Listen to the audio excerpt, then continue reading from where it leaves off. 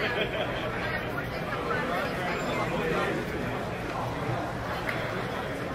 gentlemen, if you can take a quick look, the left side of your hip should have the number, not the right side.